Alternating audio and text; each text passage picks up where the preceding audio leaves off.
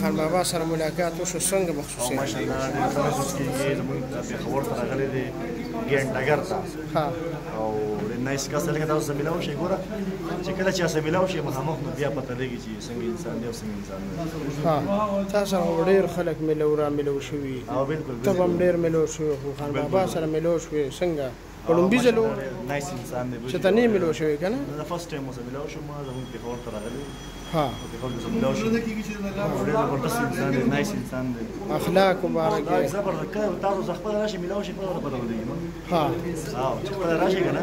چې کلم چا سره مثال دا یو سړی تاسو دوی مثال چې دا کس اخلاق خراب دی یا څه مسله تاسو خپل چې ملو شي بیا وته په توګه چې اخلاق څنګه دی ها او دا خلک چیلنجونه ورکوي ګپې شپې او دا انټرټینمنټ دغه څه وجه ده یاره بس دا مړه هر انسان خپل دغه دی سور دی لګا چا په سور کې څه نشي کولای ډېر مننه